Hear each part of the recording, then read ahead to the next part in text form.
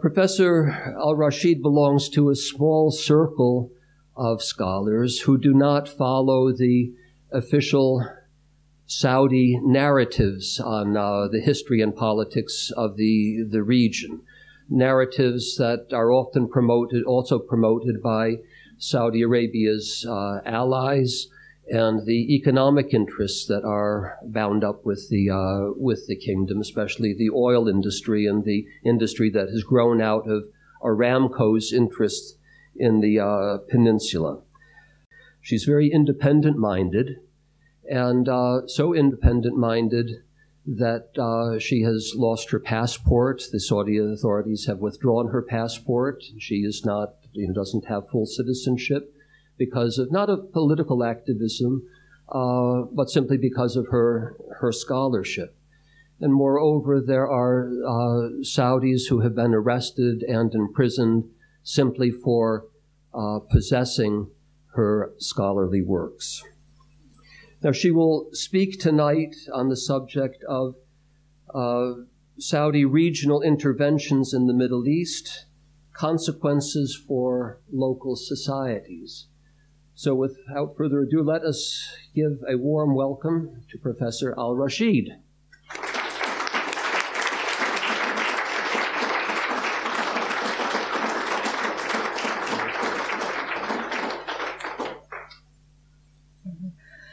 Ladies and gentlemen, good evening. It's a pleasure to address you, and it's a very unusual uh, occasion for me. First, it's my first visit to Zurich, and also I would like to take this opportunity to thank uh, CSI for giving me this opportunity to talk to you about my research and my work, and thank you to John who organized uh, this trip, and it's been pleasant and pleasurable actually to be here. Um, what I propose to do today is to talk to you about uh, uh, one aspect of my research. Um, I have been looking at uh, uh recently what had happened in the Arab world since the Arab uprising. Some people call them revolutions, others call them uprisings um, and uh, the role uh, Saudi Arabia had played in thwarting or supporting revolutions. So the title of my talk is uh, These Regional Interventions That Have Taken Place in the Middle East over the last four years um, and what the consequences are on local societies. Um, the first thing I want to uh, look at is uh, the spectrum of events have swept the Arab region. So the Arab uprising varied, but they had one common theme. Uh, regardless of how they started or the immediate causes that scholars have speculated about, what drove those uh, uh, uprising is still a question to be answered. Uh, there are hypotheses, but we really uh, uh, focus on some deep um, injustices that have taken place in the Arab world in the 20th century. The Arab uprising differed from every single uh, protest that the Middle East had witnessed because it brought what we call in academia mass politics. It was the mass protest that distinguished these uprisings from previous ones. However, they had multiple outcomes. And um, in North Africa, where it all started, in Tunisia, Egypt, and then Libya, um, we had uh, we witnessed, and I'm sure all of you have followed the uh, um, uh, the events day by day. Uh, I must say that there was a lot of hope at that moment, and I was one of the persons, uh, of the people who actually thought that we are witnessing something different. We're not in the age of coups masquerading as revolutions, such as what happened in the 1950s or 1960s. Even the Arabian Peninsula, which is uh, usually uh, regarded as uh, a sort of a calm quiet uh, region in the Arab world. We have seen serious protests in Bahrain and even Oman uh, had witnessed uh, some protest movement.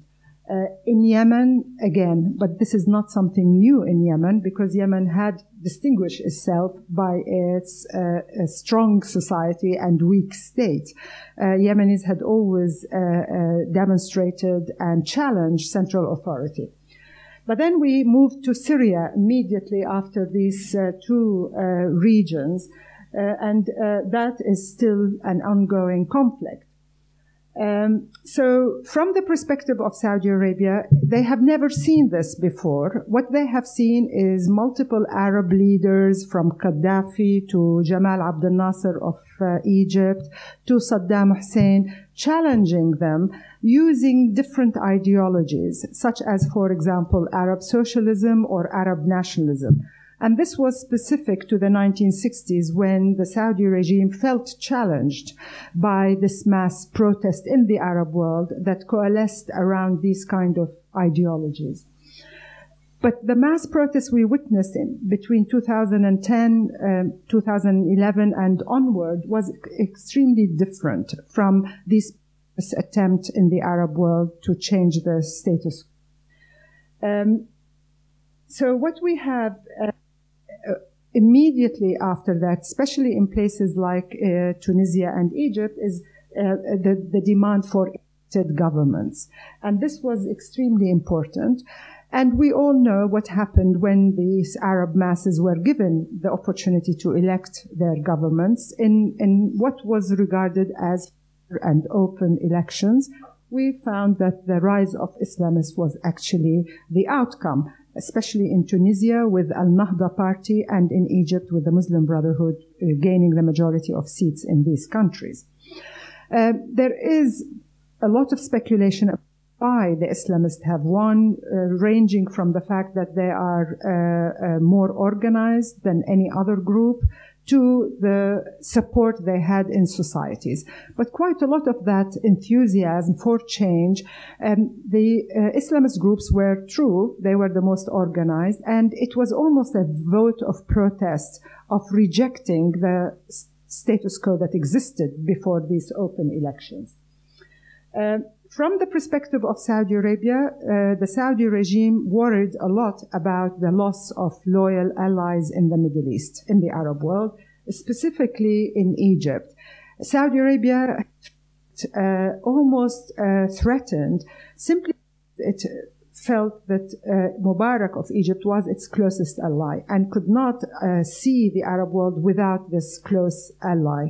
Uh, immediately after uh, he stepped down um, in in, uh, in Egypt. Um, so, how did the Saudis respond to all this, uh, these events, the series of events, the multiple challenges that were taking place? The initial response, Saudi Arabia as a conservative uh, absolute monarchy abhorred change. And those of you who uh, are more familiar with European history uh, than myself would understand how monarchies usually respond to this kind of mass protest and upheaval. I could only comment on the uh, British responses throughout history when they saw the French Revolution and what happened afterwards. But the initial response, uh, Saudi Arabia condemned the uprising and regarded them as chaos. And they used the word fitna in Arabic, which means uh, challenging the status quo. And not only that, um, they, uh, they feared the transformation or the transformative character potential of this uh, uprising inside Saudi Arabia itself. Uh, one thing that uh, made the uprising so different in their impact from previous challenges in the 1950s or 1960s is basically the advent uh, and proliferation of images uh, and narratives about the uprising on social media. Saudi population is one of the most connected uh, population in terms of social media. And uh, they were watching for the first time a whole generation that had never seen peaceful protest in the Arab world had become familiar with, with the events that were taking place almost every day uh, between December 2010 and uh, uh, uh, January and even uh, after that. So uh, the uncertainty of the future. The main objective of uh, Saudi Arabia was to preserve the monarchy as a form of government, at least in the Arabian Peninsula. First, and then later on outside the Arab region. The loss of allies such as Mubarak and Ben Ali, whom Saudi Arabia relied on for quite a lot of other political uh, reasons, intelligence. Um, and what worried Saudi Arabia about Egypt is the opening of the Egyptian public sphere. Uh, uh, immediately after the revolution. If you remember, there were quite a lot of protests against Saudi Arabia taking place in Egypt itself, which had never happened during the Mubarak regime because Mubarak would not have allowed it. And therefore, the, the most populous Arab country, Egypt, although it does not have any resources, is extremely important for Saudi Arabia because Saudis fear Egypt. Egypt, throughout the 20th century, brought Saudi Arabia three things. Uh, in fact, brought the Arab world modernity, Egypt was the outstanding pioneer in the in spreading modernity through literature, through cinema, art, etc., throughout the Arab world. The second one was Arab nationalism, which also worried Saudi Arabia, and Saudi Arabia felt that it was a threat. And finally, Egypt itself provided the ideologue for the Islamist movement. And therefore, these three trends worried Saudi Arabia and could not anticipate what would come out of Egypt, perhaps democracy, the fourth wave. And that was extremely worrying for the Saudi regime.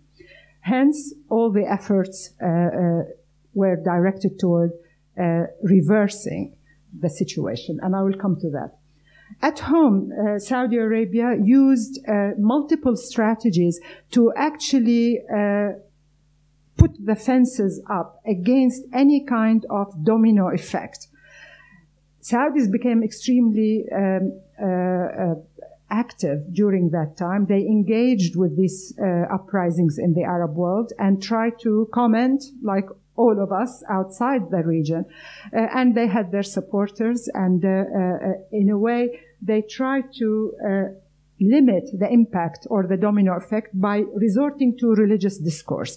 And the Saudis uh, mobilized the religious establishment, the Salafi Wahhabi establishment, in order to uh, provide ideas and fatwas, religious opinions, against peaceful protest.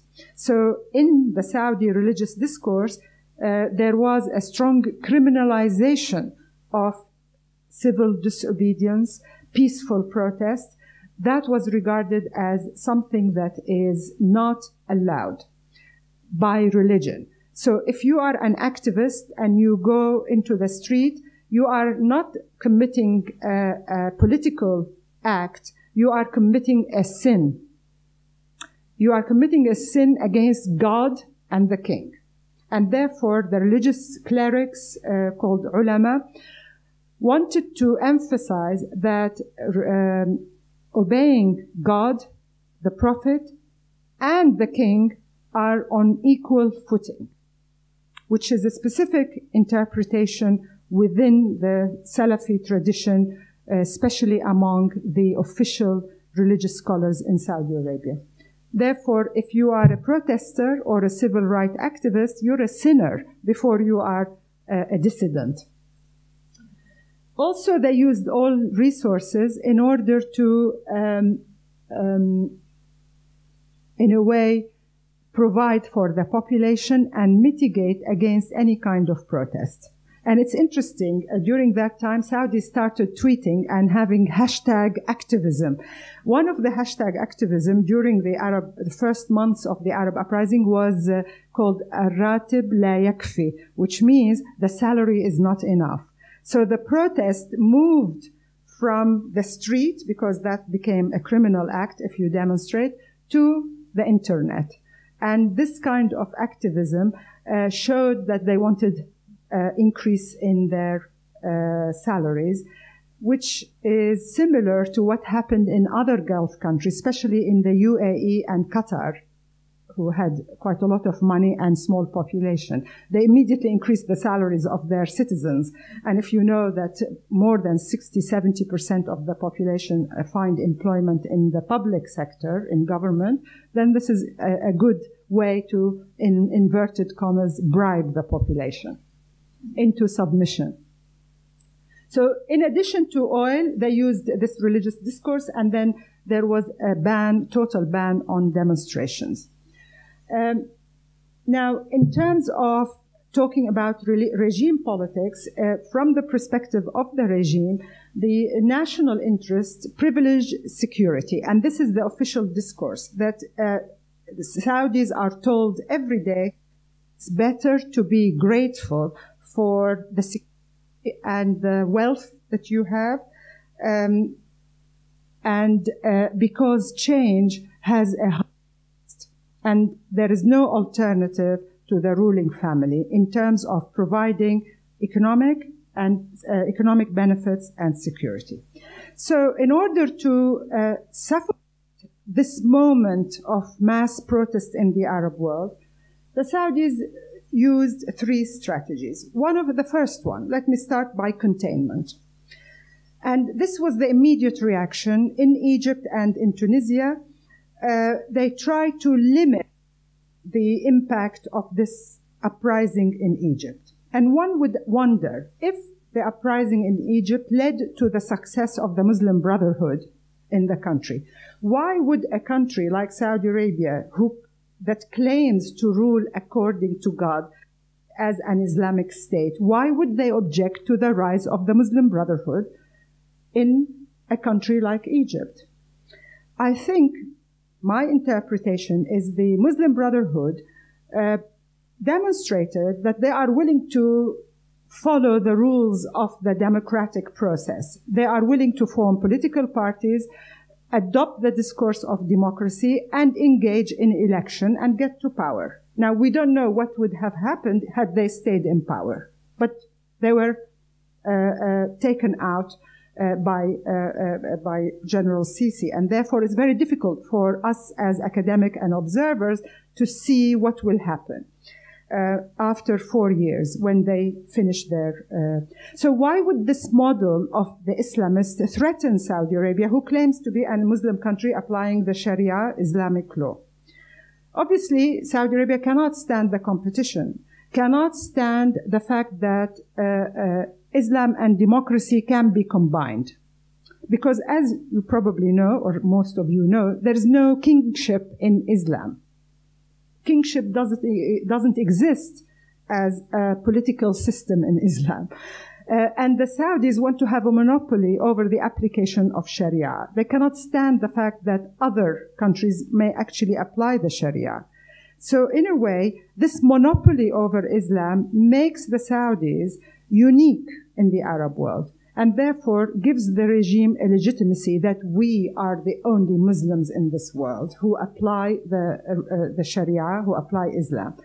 And therefore, to have another country so important like Egypt, at least demographically in the Arab world and also intellectually, um, finding a way to marry Islam and democracy makes the Saudis feel threatened. So, in a way, the containment policies was to involve the starving of Egypt. So, uh, uh, the aid that Egypt used to receive from Saudi Arabia and other Gulf countries was suspended until after the coup uh, in, in the country.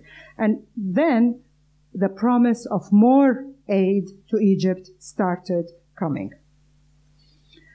So, in a way, the Saudi fear of openness in the most populous Arab country, uh, and, and, also the opening of the Arab public sphere in Egypt. Egypt still had a long history of uh, vibrant media that was suppressed during various dictatorships, but they had the seeds to be able to create some kind of openness in the Arab world that will definitely would have vibrated across the region. So it was important for the Saudis to contain Egypt through first uh, withholding aid and then pouring aid on Egypt in order to enforce the change.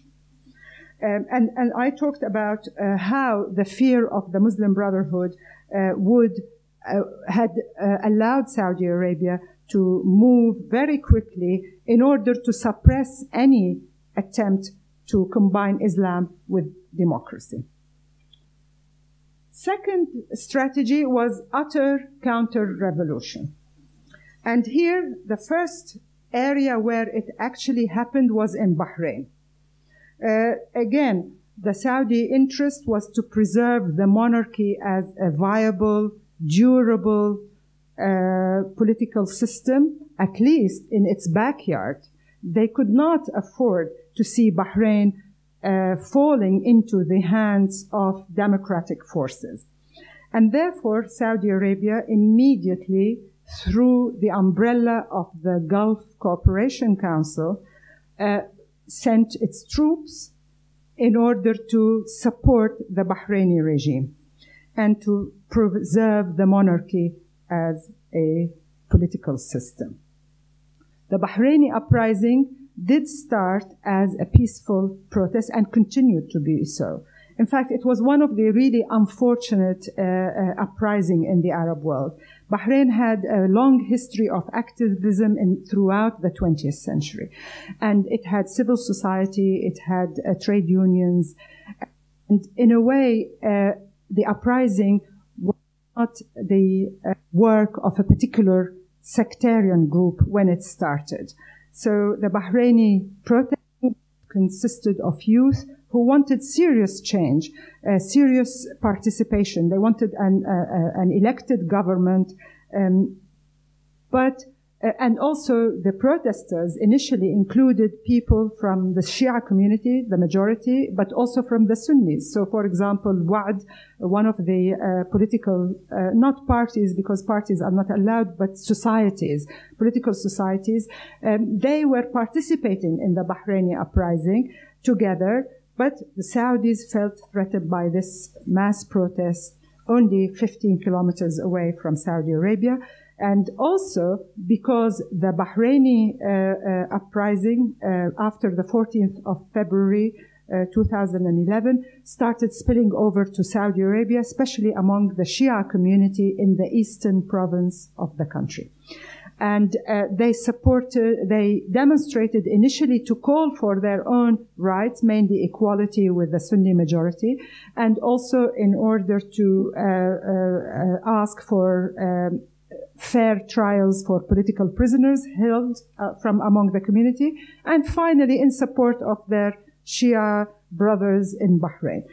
Um, and this kind of event prompted Saudi Arabia to act as a counter-revolutionary force, especially in Bahrain.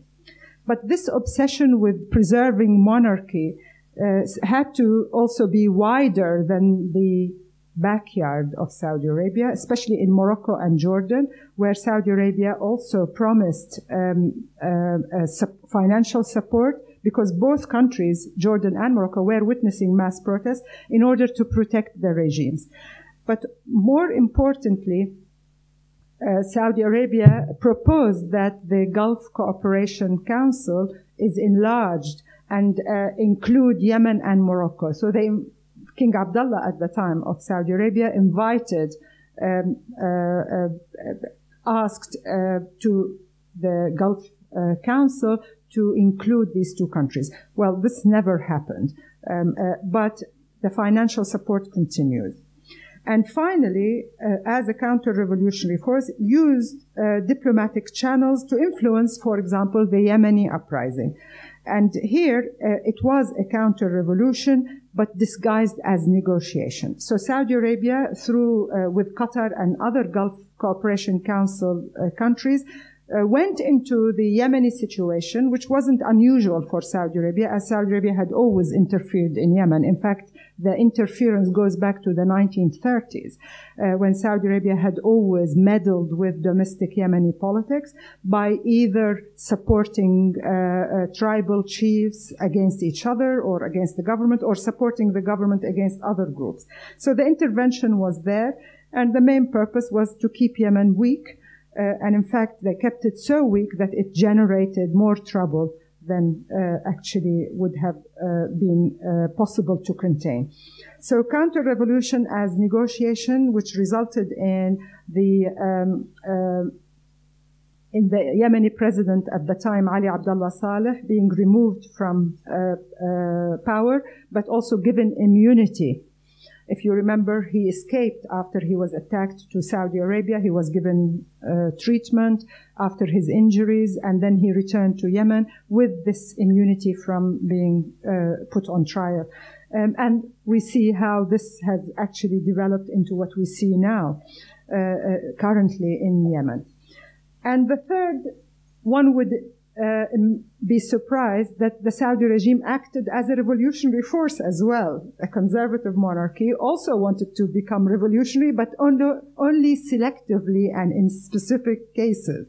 So we have uh, Saudi Arabia backing a revolution. And here, the, the example that comes to mind is Syria. So Saudi Arabia, conservative monarchy with no democracy, no election, no uh, uh, parliament, is actually supporting Syrians to uh, ask to depose Bashar al-Assad and establish democracy in Syria, which is very, very unusual. And there are big reasons for that. So, uh, an undemocratic government uh, uh, supporting demands for elections and democratic change um, especially in, in Syria. And the reason for this is very straightforward. Uh, Syria became a, a, proxy area for a war, a regional war between Saudi Arabia and Iran. Now, Saudi Arabia, if you remember, uh, had supported uh, the Assad regime before. And it wasn't until the 2006, 2008 that the two fell out of, with each other. Uh, simply Bashar al-Assad, uh, during the Israeli um, bombing of Lebanon after uh, Hezbollah uh, kidnapped the Israeli soldiers in 2008, seven, eight, uh, six probably, sorry. Um, um, Bashar uh, used provocative language against the Saudis and called them half men. And in a patriarchal society, that is really very, very upsetting. no man in the Arab world would like to be called half a man. But this is just uh, really the, the joke. The main thing, uh, Saudi Arabia had a vested interest uh, after 2003 to limit Iranian expansion in the Arab world. And they saw the, the uh, increased expansion of Iranian power in Iraq after the American invasion as a threat. And uh, in addition, uh, they have lost control of Lebanon, especially with the rise of Hezbollah in Lebanon. So today, the Saudis cannot count on a pro-Saudi government in Beirut after what happened to the Hariri family. And therefore, uh, Syria became the bridge that links Iran to Lebanon and also from very early on uh, both Mubarak, uh, before he was deposed, uh, the Saudi king and the Jordanian king started talking about this Shia crescent. Saudi Arabia lobbied the United States to attack Iran, but obviously Obama resisted and that didn't happen. And if you remember the WikiLeaks leaks, which said, uh, uh, which uh, um, talked about a letter by uh, the Saudi king telling the American administration, Obama in particular, to cut the snake's head, meaning Iran. So there was this regional rivalry uh, between Saudi Arabia and Iran, but Saudi Arabia would not dare attack Iran directly. So unfortunate for the Syrians, Syria itself became the playground where these two regional powers, in addition to others, of course, Turkey and um, uh, other Gulf countries, had played a very, very destructive role. So the intervention of uh, a regime like Saudi Arabia with its oil resources had led to the increased militarization of the uprising. And this is not to undermine the atrocities committed by the Assad regime against the people in Syria. Uh, they started their uh, demonstrations as uh, peaceful protesters, copying the Egyptian fun uh, demonstrations of uh, Tahrir Square and other places, but it immediately turned very, very uh, bloody and continues until the present day. So civil war now, in terms of change, it, it is unlikely that we will see this resolved very quickly. In fact, it's getting worse and worse. The death toll is incredible, and the final refugee crisis, which also resulted from that kind of uh, uh, regional intervention. Mainly, the Saudi Iranian rivalry has proved to be detrimental to Arab society. Um, so, to just sum up what I have so far talked about is Saudi regional intervention took the form of uh, diplomacy through initially. So, for example, there were multiple conferences, international conferences in which Saudi Arabia uh, participated, such as Friends of Syria, Geneva 1, 2, 3, etc., through the UN uh, uh, also and through the Arab League, in order to contain and suffocate change, or to ally the Arab regimes uh, behind the Saudi policy against, for example, the Syrian regime in that case. The military intervention, uh, so far, it was uh, uh, direct in Bahrain with sending ground troops and also indirect through sponsoring rebel groups of different political persuasions. Also, they use the finance. Saudi Arabia is a well endowed country with oil resources, despite the uh, decrease in oil prices recently.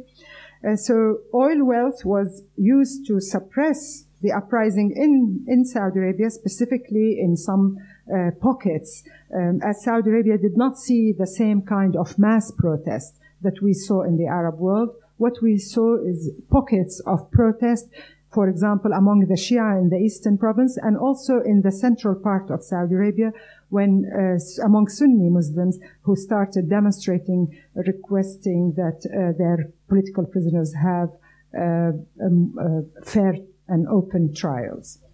Uh, and in addition to the old strategy of uh, bribing loyalists. Finally, there was the most sinister impact of this intervention, and this is the sectarianization of conflict. And we see it happening in three contexts in Bahrain, in Syria, and in Yemen. So, from the Saudi political perspective, uh, and also from the perspective of the Saudi religious scholars who are supporting the government and have quite a lot of wide access and, and also com- convincing the population. These political uprisings were seen through the prism of sectarianism. So in Bahrain, the Saudi officials, uh, especially the religious establishment, saw the Bahraini uprising as a Shia conspiracy backed by Iran against the Sunnis. And therefore, uh, an uprising that started for uh, calling for democracy, respect of human rights, dignity, justice, had completely changed in the official discourse in order to undermine the uprising in Bahrain. So by calling it a Shia uprising, um, and it didn't help when uh, some sections of the Shia population started raising flags of Iran or photos of uh, Iranian scholars. Um, now, there is a big question mark about why they did that, but that's not really the, the, the purpose of the talk. In Syria also, what started as a, a democratic movement wanting to um, uh, have more rights, dignity, etc., like the other uprising, was turned into a sectarian war now. And from the Saudi perspective, they see the battle in Damascus as a, a, a, religious war of the oppressed Sunnis against the Alawite, um, who are regarded as Shia uh, minority that had ruled over them. So there is no more room for political discourse about rights, civil society, elections, representation. All the conflict is seen through the prism of Sunni Shia divide. And in Yemen, which actually, surprisingly, is one of those countries where sectarianism wasn't a great issue in Yemen. Yemen, like other Arab countries, is diverse at the level of ethnic and, uh, and religious uh, sect. but it is not as polarized as other Arab uh, countries. And today, the intervention of Saudi Arabia in Yemen through the airstrikes that had been taking place since March is seen by some Saudi religious scholars as a religious war of the Sunni against the Houthis, who are Zaydis. And the fact that the Zaydis are not like the Iranian Twelver Shiites is just beyond the point. They are all grouped together as Shia. So even the Alawis, uh, who are Shia, but some people would say they're not mainstream Shia, and they're definitely not like the Iranian Shia, are all uh, regarded as one group, and uh, uh, the, the battles are now religious battles between sectarian groups. So, what happened as a result of all these strategies that I have outlined? Local consequences. So, the political outlook of these countries where there had been Saudi intervention, either diplomatically, financially, or militarily. First, suppression of peaceful protest and the demise of democratic forces in the Arab world. There is no doubt today in countries like Egypt, in, in Bahrain, in other places, there is no room today for democratic forces because the context is so polarized, so sectarian, that those who have some kind of democratic ideas have been sidelined completely or marginalized. Islamist groups who are part of, whether we like it or not, they are part of the fabrics of Arab society the moderate ones, and there are moderate ones. And in fact, if you read this book uh, that uh, I have just published, it shows that some of them are willing to engage with democracy in some way or another. Uh, they're not liberal Democrats. They might be religious, conservative Democrats. But we can't always judge those people by our own standards. They, we don't expect them to be uh, products of parliaments uh, in the West. So we have to judge their experience and their discourse by some kind of criteria that is not a duplicate of what we know. So, for example, to just give you an example, when people say, oh, well, the, the, in the media, you must have heard like there are liberal Saudis. Yeah? So believe me, I have not met a liberal Saudi yet. If you think liberalism is uh, what you know of liberalism. Yeah? There are some Saudis who want some kind of personal freedoms, but I haven't met a liberal yet who wants to an elected parliament, for example. Yeah, so a liberal, Saudi liberal accepts what they want is limitation on the powers of the religious uh, authorities to interfere in their personal life. That's what they want, which is a right. That's what they want. Uh, but they're not the mainstream. They do not constitute a very big cohort of activists. Uh, in terms of the Islamists, there's a wide range of Islamists, ranging from the most radical, violent, but you can be radical, non-violent. And the history of Europe tells us that you can. There are lots of radicals who were tolerated, but they were not violent. As long as they don't use violence, uh, they can exist in society. And in a liberal democracy, there is room for those radicals who are not violent. but after what happened in Egypt, that trend has actually uh, uh, become fragmented and perhaps it pushed some of those members uh, towards taking more radical uh, views and strategies. So this Saudi intervention had detrimental impact on the political outlook of the Arab world. The rise of militant Islamists who are now uh, basically uh, filling a vacuum. There's no room for a peaceful protest anymore, but what we have found that power and those who have the means of coercion, those who can terrorize the population are gaining ground. And the classic example is IS. So if you have no means of coercion, you're actually uh, not listened to. If you flex your muscles, you use weapons, you are the one who are who is uh, on the ground and can gain territory.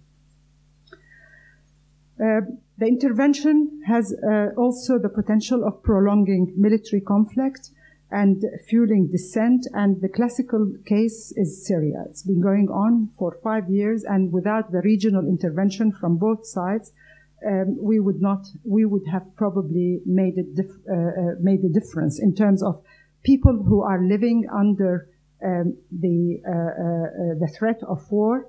They may be able to compromise, but once you have people, regional powers deciding on the outcome of this war, specifically the Saudis have made it clear that they would not accept anything but deposing Bashar al-Assad. And therefore, negotiation, diplomacy tends to be lost in this kind of regional polarization.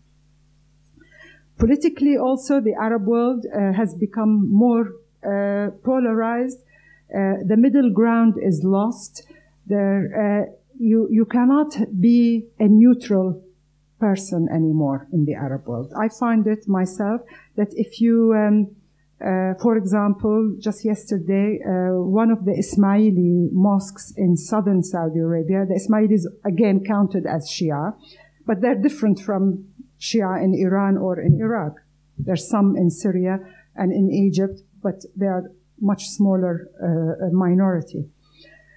If you sympathize with their dead, they immediately say, oh, but what about the Sunnis who are dying in Syria? So you cannot be neutral anymore uh, you cannot uh, actually experience your humanity in support of the dead, whatever religion or sect they are. The situation is so polarized that you, you have to take side. And it's very uh, difficult for people to remain neutral. And also, the Saudis want to dictate the outcome of uprisings such as the one taking place in Syria, uh, the removal of disloyal regime as the ultimate goal. It's, it becomes very difficult to reach a negotiation or to reach some kind of compromise. The language of compromise, the language of diplomacy is lost as a result of this increased polarization. Now, economically, we all have seen what has happened in, in, uh, in the Arab world as a result. Very weak economies that had already been impoverished and they actually uh, became worse. Um, and there is a serious issue, and that is the increased dependency of many Arab regimes on aid from Saudi Arabia and other Gulf countries, provided that they remain loyal and join in. Today, this, uh, uh, since these airstrikes on Yemen, Saudi Arabia has been very, very uh, um, interested in getting Egypt to send troops so that they could send them to Yemen. But General Sisi, uh, although he has actually taken a lot of aid from Saudi Arabia, has resisted sending masses uh, of, of, troops on the ground to Saudi Arabia, probably rightly so. He doesn't want to be the victim. Uh, I mean, he, he has enough problems in Egypt to deal with. Uh, but there is always a cost to this aid that Saudi Arabia gives under the pretext of, of helping other Muslims or helping other Arabs. Um, and loyalty to the Saudi regime and lack of uh, loss of independence becomes a critical issue. So economically, uh, this is a very uh, difficult situation for receiving countries, countries who receive aid the destruction of uh, uh, infrastructure in conflict zone is massive. I mean, Syria, uh, Yemen now is extremely. it will take probably generations to rebuild these economies and the infrastructure. Unemployment had already been extremely difficult in the Arab world, and it is one of the highest regions in the world that experiences uh, high rates of unemployment, and it is even worse now.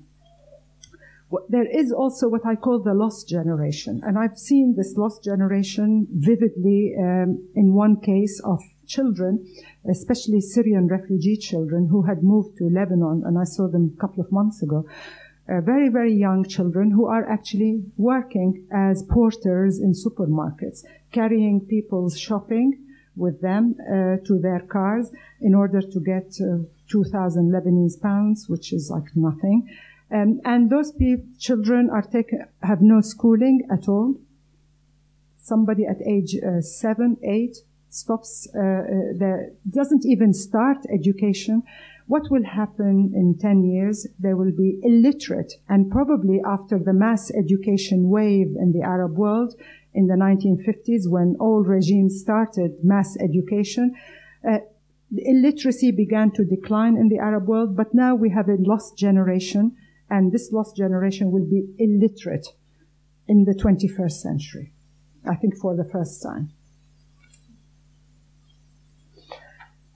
The social impact uh, it's extremely important to see when the Saudi expansion, whether it's uh, religiously, uh, whether economically, politically, etc., has an impact on gender and gender inequality. The Saudi model of gender segregation, of uh, having women take the back seat in, in terms of uh, empowerment, employment, education, all these kind of inequalities are now the common model in the Arab world. And they are advertised as the true Islam. But it is a Saudi Islam, it is a Saudi model that has become popular in other Arab countries. Uh, as a result of media, uh, satellite channels, as a result of religious education books that are uh, sponsored and sent around the world. So the Saudi model, which was very specific to the context, both cultural and geographic, of the Arabian Peninsula, it's a minority sect, if you like, has become the norm. And any other form of being Muslim has become difficult to exercise. You either follow the Saudi model of being a Muslim or you are branded as a non-Muslim. So it's become very, very difficult harassment and marginalization of women who are actually daring to challenge these norms, these new gender norms and inequality, is, has increased as a result of that, simply because the societies where the Saudi model has penetrated are not used to this kind of uh, gender inequality in fact, their women, if you took, take a country like Tunisia or North Africa, Egyptian women and, and other women, uh, countries, women had to work in order to earn a living. It was not a luxury. It was a necessity. And if you have religious discourse propagating that the play, right place for a woman is to stay at home, then there is actually a, a clash there. And it's creating this kind of harassment. We see more harassment of women in the streets. And uh, uh, mainly uh, with this Saudi model popularized and became the norm, we have greater intolerance for social diversity and pluralism. Now let me look at uh, religious religious groups. Obviously, uh, one of the beauties of the Middle East, I think, of the Arab world was its ethnic and religious diversity. Um, and this is completely um, a unique situation. Um, European countries had been more homogeneous, but this religious diversity where ethnic groups and religious groups lived together. I don't want to uh, think in terms of nostalgia to a past when everybody was happy, Christians and Muslims living together. That would be a, a historical uh, error.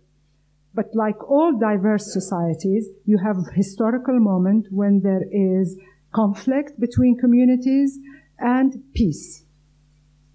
So let's not kid ourselves and say before uh, all this had happened, people were happily together, marrying into each other's communities. No, it's not true as a scholar, I have to look at the historical fact. There were massacres, there were purification purges.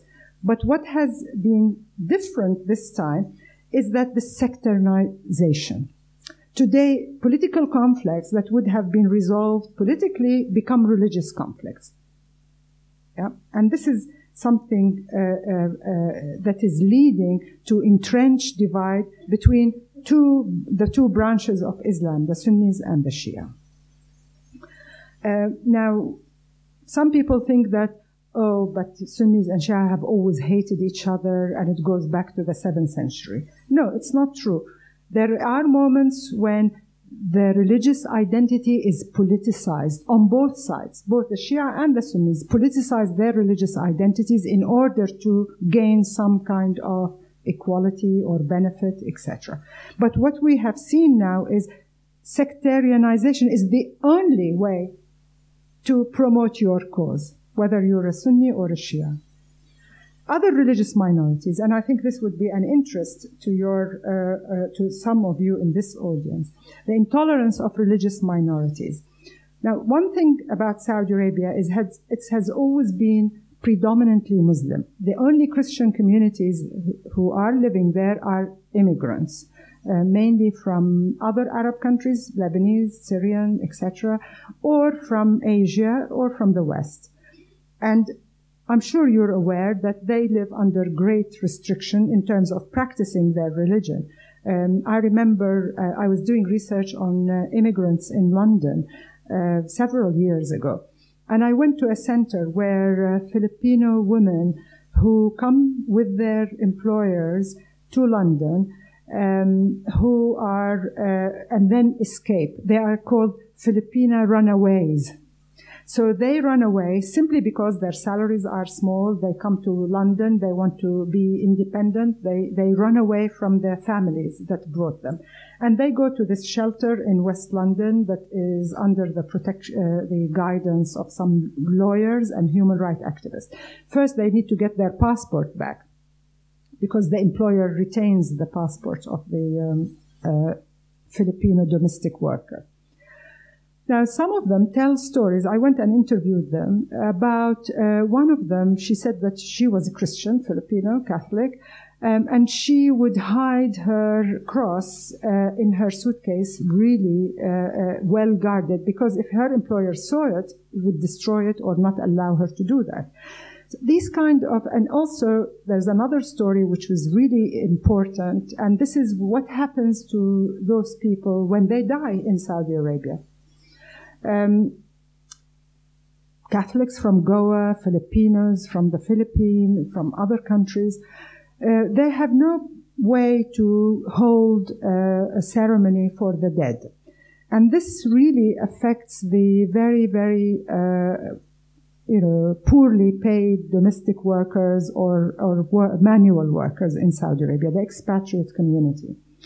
I have heard stories about some of them who say that what they do is they cannot raise enough money to repatriate the body and their uh, embassies would not pay the cost of it. And the people the parents the families in the philippines or in india could not pay for the body to be brought back. So what they do is a group of them would go to the desert and bury their dead there if somebody dies. Simply because they're not allowed to have the religious uh, ceremony the churches the the support. And this is inhuman situation that needs to change. But with this uh, Saudi in strong intervention in the Arab world, I think religious minorities uh, in countries that had always lived with religious minorities is an alien concept in Saudi Arabia. The diversity of the Arab world is not actually um, uh, a, a, lived experience. Um, I remember I, I, grew up in Saudi Arabia, and there was this sort of um, in the 60s and 70s. Uh, you know, we never heard the word Shia. Believe it or not, it's just not in our horizon. Although there's like 10% of the population was Shia, and um, we confuse them with Shiuri, which is communist.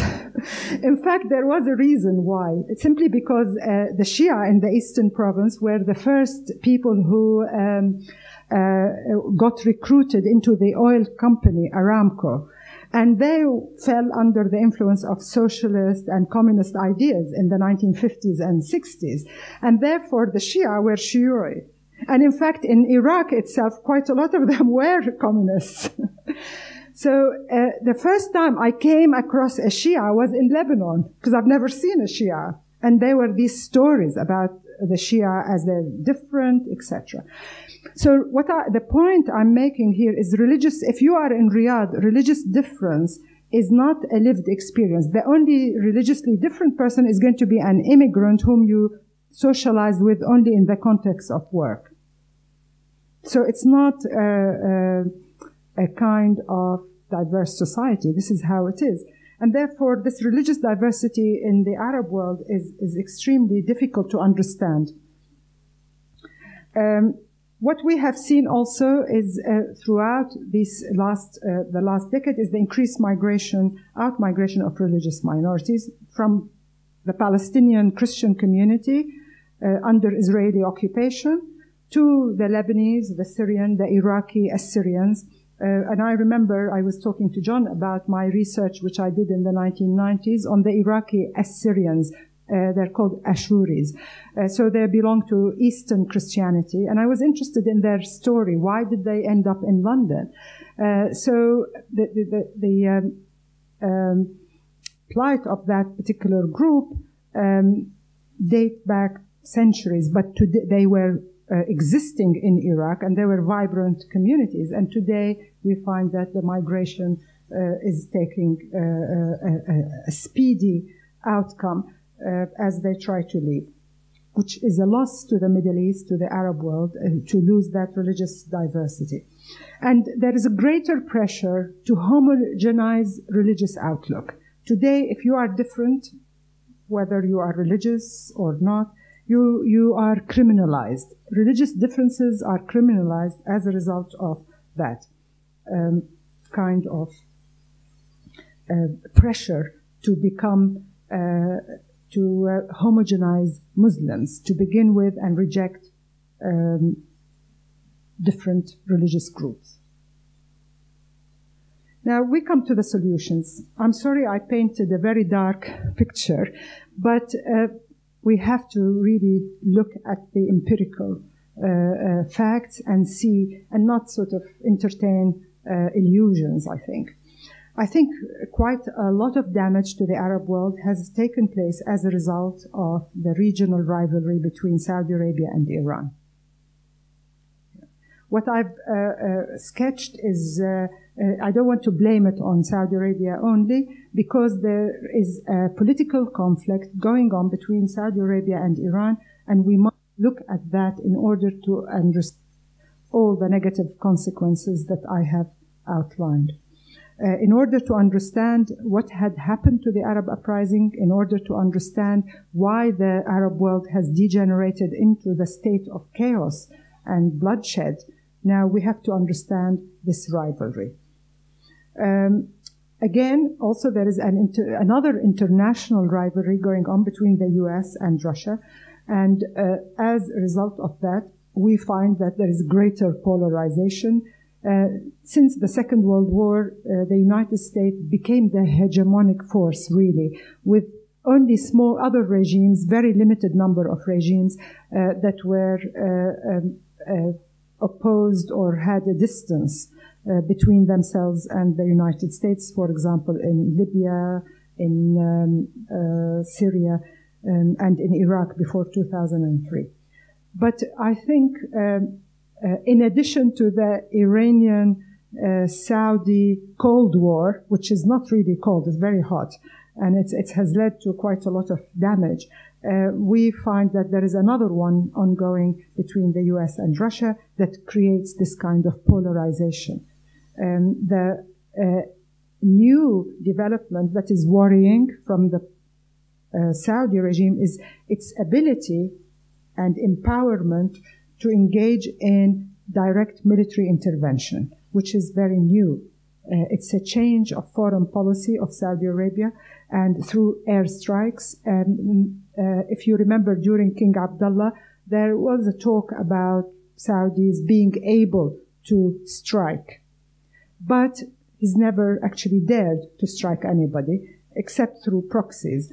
But now, with the new king, we find that there is a more vigorous attempt for domestic reasons. I could discuss that later, why uh, Saudi Arabia has moved from being, um, uh, uh, uh from not being able or willing to use the military to this shift and becoming more boisterous um, after several decades of being armed by various Western powers from Switzerland, I heard this morning, to the United States. So the pouring of these weapons, the empowering of the Saudi regime uh, has allowed it to uh, buy military technology and training, basically. Most of Saudi's uh, uh, uh training is done by Western powers.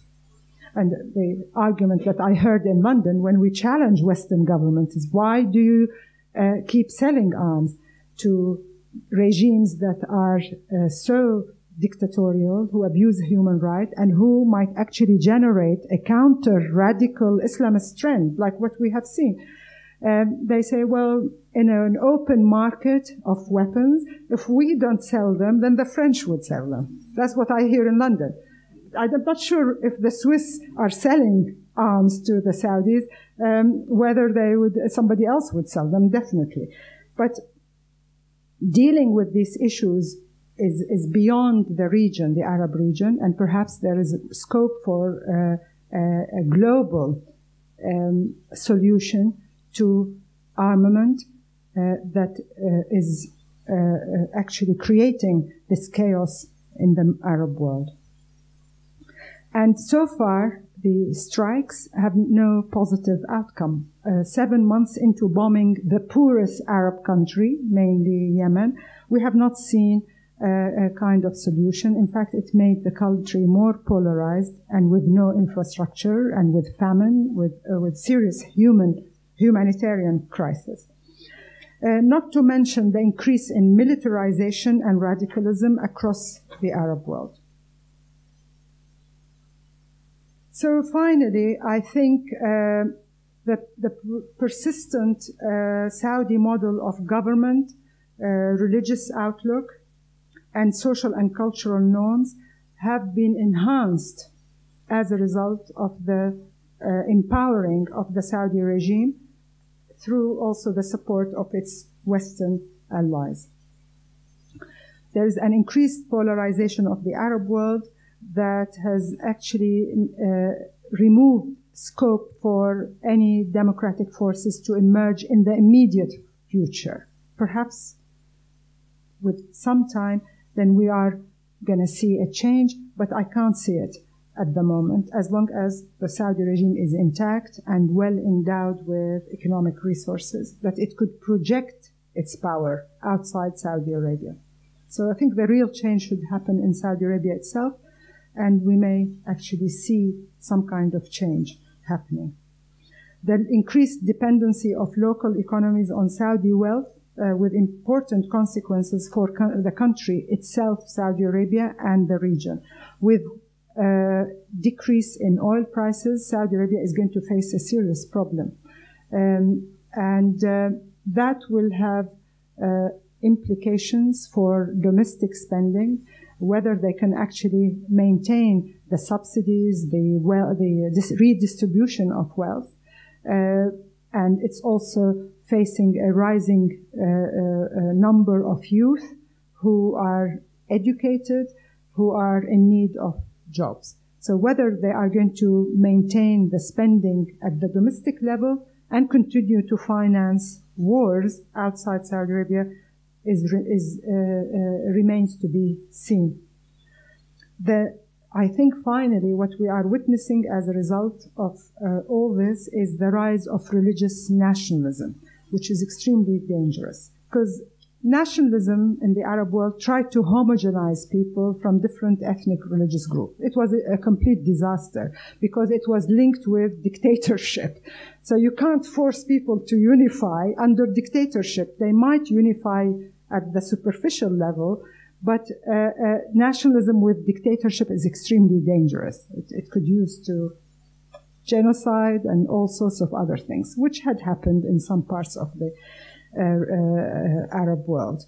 But what we are seeing now is probably worse than that sort of Arab secular nationalism, and it is religious nationalism. And here, religious minorities will be the first victim because religious nationalism tried to homogenize people's beliefs, people's practices of their faith. So even if you're a Sunni Muslim, you don't practice like the Saudis, you're going to have some problems.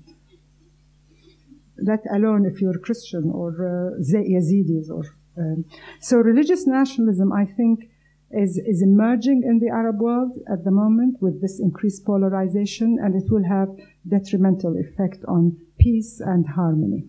Uh, and I think nobody is actually going to be safe from that because today in a global world with the increased movement of people, that we might have the same kind of tension arising in places that are not Arab, mainly in Europe and in other places.